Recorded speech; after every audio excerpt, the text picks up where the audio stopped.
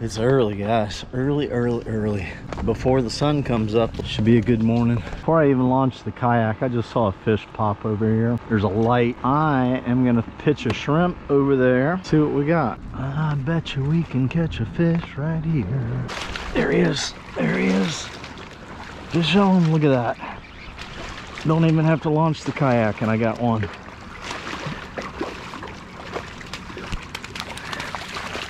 Nice. Oh, we got off. Little snook. Nice. Here we go.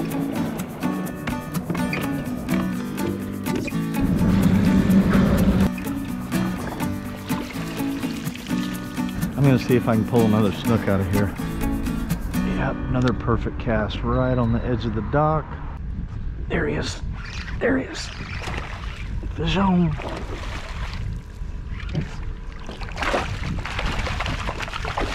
Nice.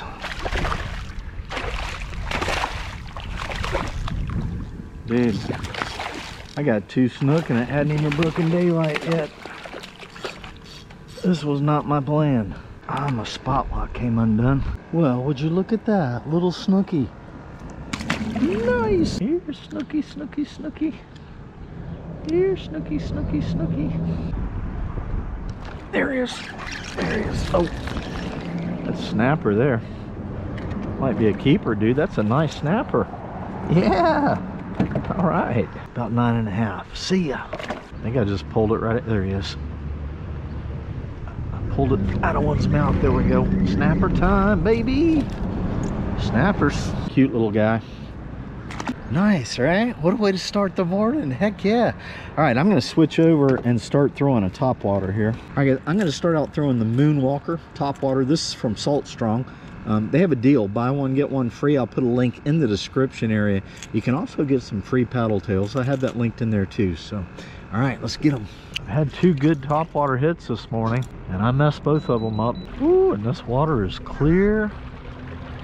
It is super clear. That's a nice little wall right here. Might be something hanging out right in here. Let's see. I'd really like to catch a snook on top water this morning. I'd like to catch a nice snook on top water.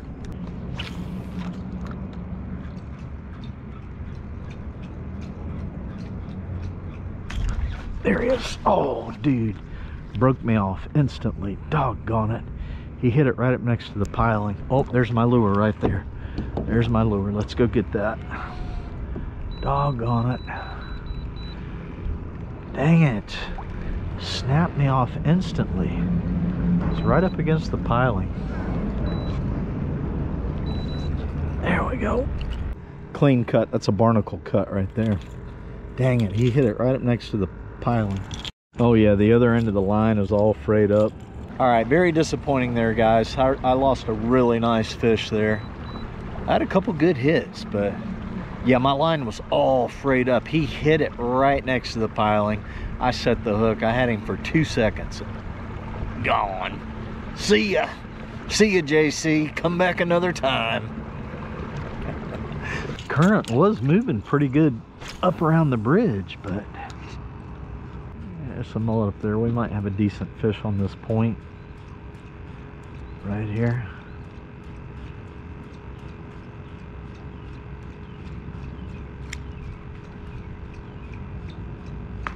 Yep, there he is. There he is. Oh, dang it, dude. Dang it. dude, that sun is bright.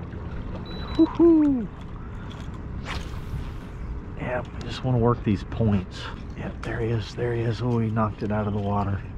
He knocked it out of the water. There. Oh, dude, dude, dude. Oh, my God. That's a little bitty guy. All right in the mangrove. Come on, dude.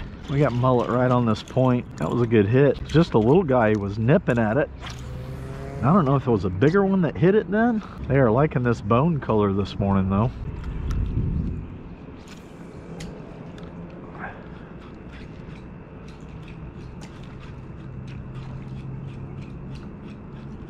There's a little snook right there. Oh, baby, come on, come on, come on. Come on, dude, get it.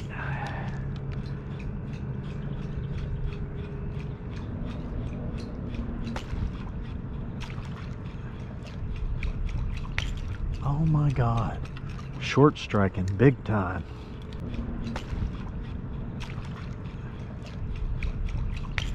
Watch this, watch this, watch this. We'll throw the paddle tail up in there. Dude, he smacked it. He smacked it good.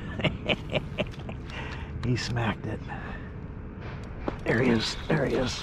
Oh my gosh, the world's smallest snook. there he is. As soon as it hit the water. Fish on. Nice. Oh, flipped off the hook. All right, little guy, you have had your lesson. Grow up to be a 50 pounder. Nice.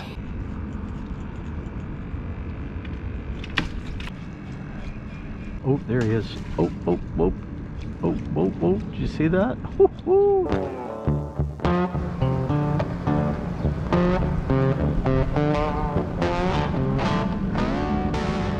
Oh yeah, I bet we got some good fish up in here.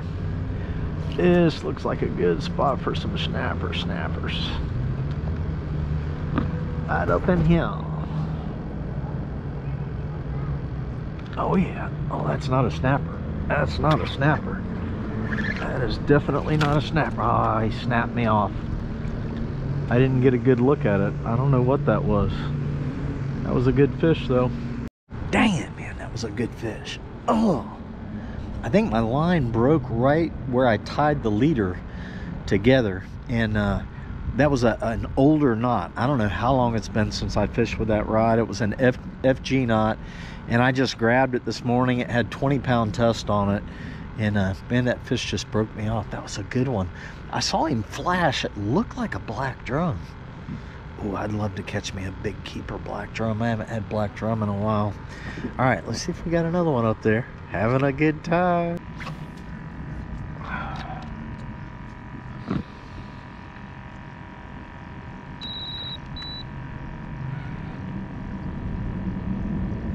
There he is. That's a good fish. That's a good, that's gonna be a keeper mang right there. What is it, a snook? Yeah, snook. Dude, I thought I had a keeper mang. I got another snooky snooky. Take it. We'll take it.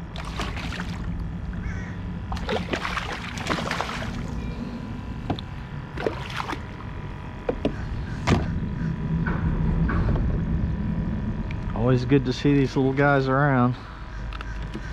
He's what, 18, 19 inches maybe? See ya. Guys, this stock is loaded with fish, and the reason is there's greenback shiners everywhere. They're all over there, they're all over here, they're all around my kayak. So I want to have a quick heart-to-heart -heart with you guys. I've got over 820 videos on this channel. Generally, a video per thousand views with YouTube makes about $9 per thousand, right? Sometimes these videos take 20, 30, 40 hours to create.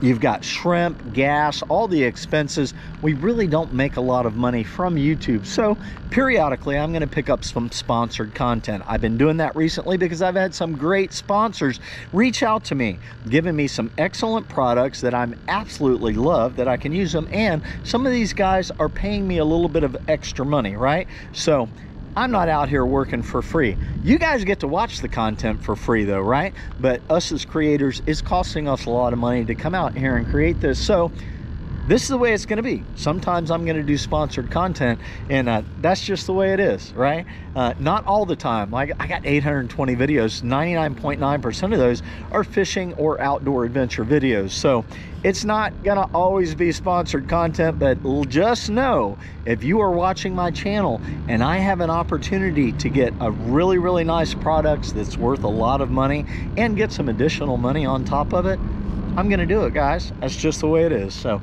let's get back to fishing.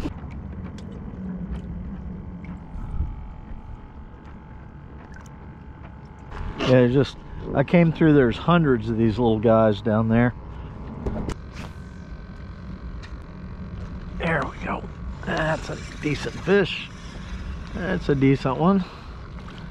Not big enough to keep though. Still having a good time. See ya. We're catching snappers in the mangroves. Imagine that.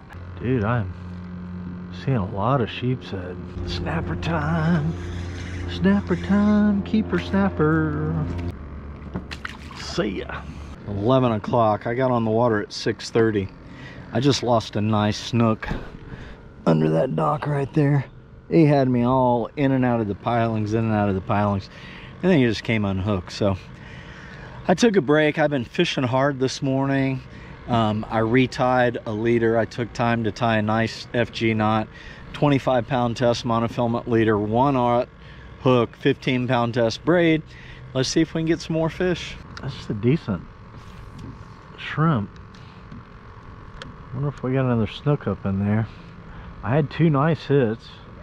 That snook hit it, dude. He hit it and took off. A lot of times when they do that, that means there's other fish around.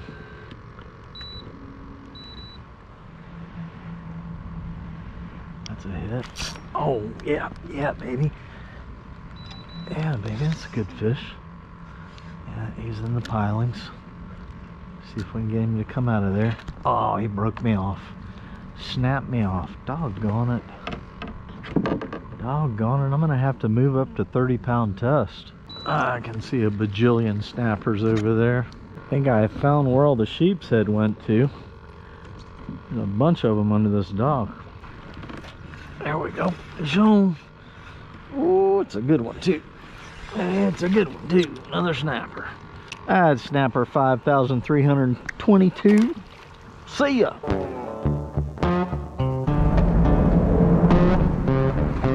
That's a good, that's a good fish. That's a good fish. That's a good fish. Please don't be a catfish. Oh, it's a black drum, baby. It's a black drum. Please be a keeper. Please be a keeper. 15 inches. Oh yeah. That would just make my day. That would make my day. Nice, baby. We got us a black drum. I'm gonna pull out my fish rules out. Black drum. Oh, minimum size 14 inches. He's a little bit over 14. Nice. All right, guys, we got our black drum here. We are gonna get this one cleaned up. I'm gonna cook this on the half shell on the grill. On the half shell means you just leave the scales on. And I'm just gonna fillet this like you'd fillet any other fish. I just make a cut across like that. And then I turn my knife and I just run right along the skeleton of the fish. Just a little bit. You get it started like that. Just run your knife down like that. I like to lift up on the skin right here as I'm doing it. Usually get back here around the anal fin. Just push my knife right through. Come back up here. Just run right along the right along the bone, spin them around, put my knife all the way through, kind of pinch the skin up like that so the meat um, stays away from the knife. And then I push through the ribs. Usually find a soft spot in the ribs. Push your knife through. There we go. Wasn't a very soft spot all that grunting I was doing, right? All right, now we just cut that off and there's our black drum fillet. And there you have it. Two nice looking black drum fillets. We're gonna cook this guy up on the grill. I cook with charcoal.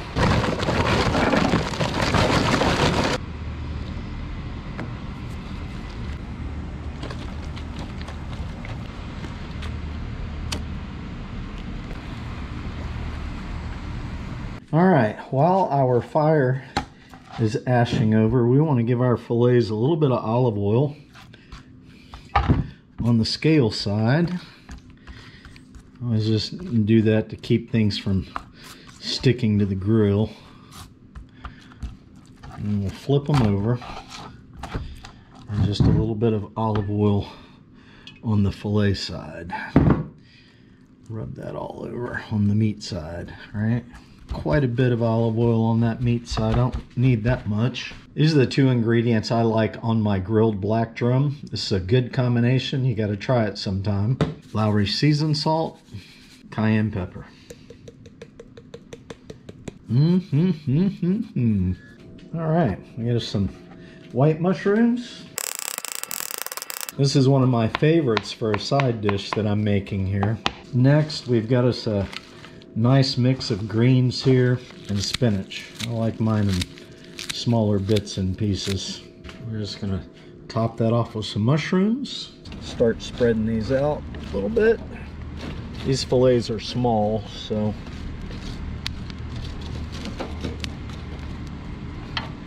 throw some oak wood on there.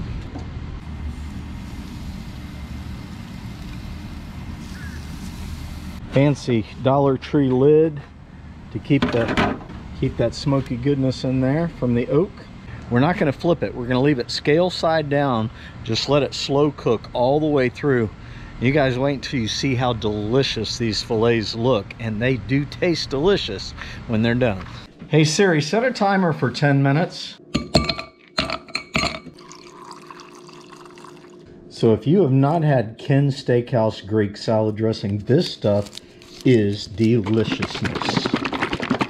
We are going to top off our mushroom salad with some Ken Steakhouse Greek. I've got a few almonds. That'll be good on there too. All right, these have been on here about 12 minutes, I think. Oh, oh, oh, baby, look at that. The fork goes through, it's done.